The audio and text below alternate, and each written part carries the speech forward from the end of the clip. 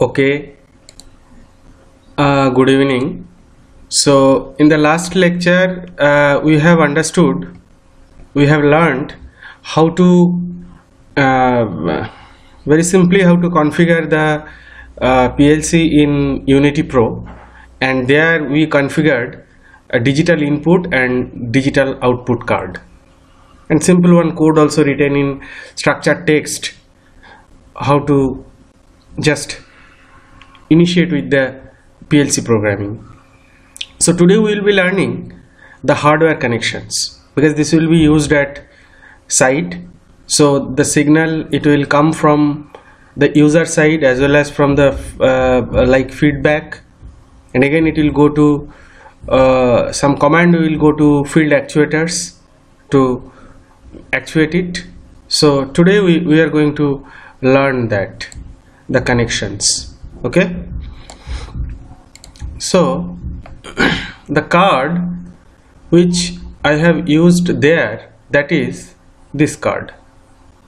That card is uh, this digital input card is TSX DEY 32 D2K there will be total 32 input. So it will be in the top slot it will be 16 and in the down slot it will be 16 but the the connections are more or less identicals. Okay. So say suppose here in the input we want to take some push button or some discrete uh, contacts or the discrete sensor output from the field like limit switch and all these things. So those connection how to do? I will show that. Okay?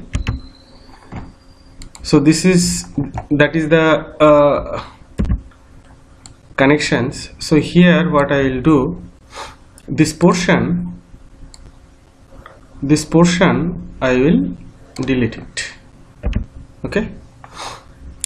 So first of all what what is to be done? Say I want to connect one push button. So first you have to take one SMPS very good quality SMPS and that fuse in, in that SMPS so the positive terminal the positive 24 eh, this is 24 volt logic okay? Entire things is 24 volt DC 24 volt DC logic okay? So the positive terminal the 24 volt DC plus it should be connected in pin number sorry I don't know why this circle. So this will be connected between uh, pin number 17 and 19 and the minus 24 volt then is the negative terminal of the SMPS it will be connected to 18 and 20 and in between before connecting the positive terminal to 17 and 19 there will be fuse. This fuse rating should be not more than 500 milliamp. Okay. This is given by the manufacturer. You can see. You see 0.5 amperes quick blow fuse. So that you have to use. Okay. So now say I am connecting one push button. So if I press that push button so the my uh, say the input 1 will be high so simply this push button 1 terminal. You connect with that 24 volt DC and another terminal you connect to input 1 so when you are pressing this push button when you will be pressing this push button this contact will be closed and the 24 volt will go to input 1 and it will become true or high whatever may be. On the other hand suppose I am going to I am going to take feedback from the field. So that time in my opinion the interposing relay should be used. Say this is my interposing relay okay? And this is my interposing relay coil supply. And here this is the contact okay? So this contact one terminal you connect with 24 volt DC and another terminal you connect to pin number 2 now say there is a limit switch in hoisting application. So this is the limit switch. You can say this is the limit switch. So here in the field side SMPS here you connect 24 volt DC and here you connect the negative terminal. So now once the limit reaches say it is hoisting so in the top limit reach so this will be closed this will be closed means this relay will be relay coil will be energized. And once the relay coil is energized the contact the normally open contact of the relay interposing relay will be toggled and that time through this path the 24 volt will be going to input number 2 and it will become true. Similarly for normally close contact also you can do all these things. So in my opinion when you will be it, you will be using the when you will be using the input that means say there is a console. It is not coming from the field side. It is from the user side. It is very near. So you use simple this kind of connection. Interposing relay is not required but when it is coming from the field always better to use interposing relay to get some interruption interference all these things. It is in my opinion. Otherwise you can directly wire also because inside that card before going to the controller there will be uh, definitely very good isolation. But in my opinion i used to do when the field side feedbacks are coming i always used to connect it through interposing relay. So this is a very simple thing for the uh, input card. That is tsx dey32 d2k okay? Now I am coming to the output card. The digital output card that is TSX DSY 32T2K okay? So this is also 32 uh, output and it is more or less the connections are same as uh, input card but still I will be explaining.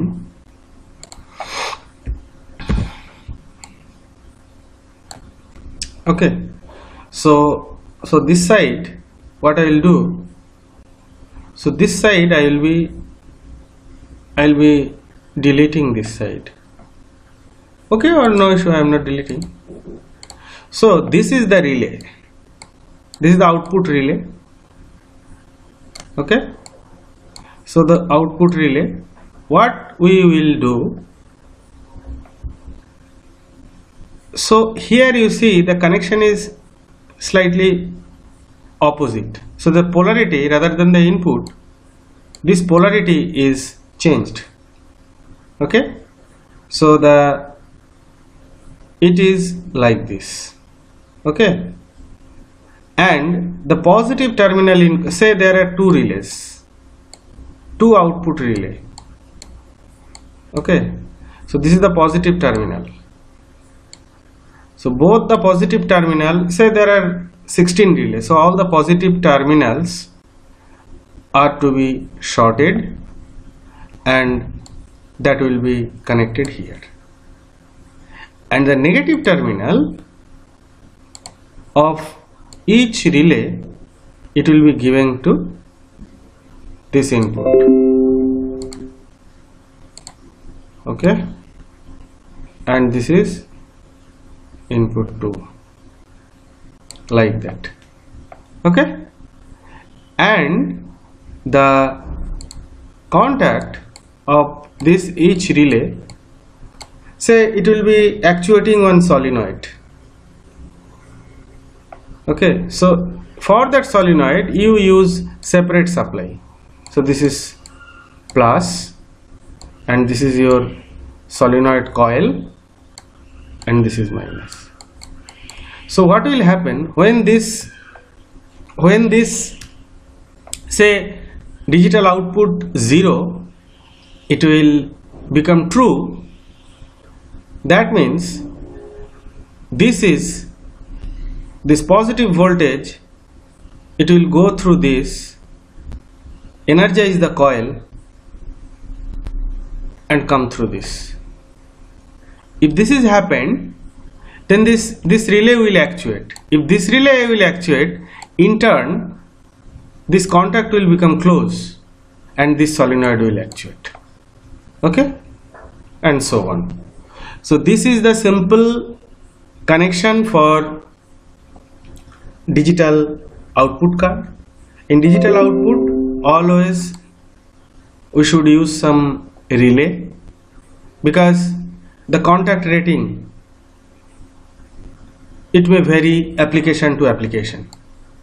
So if if the solenoid current is say 100 milliampere so accordingly you can decide. But if this is this this uh, output is going to control some power contactor so that rating may be 3 ampere. So you should select that contact rating as per that. Okay?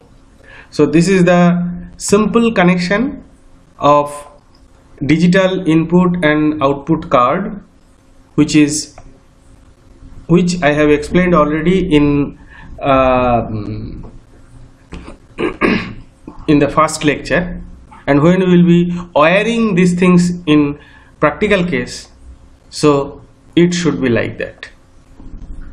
So hope this will be useful. And if you if you have any query you can contact me through my contact details in the description. You are always welcome.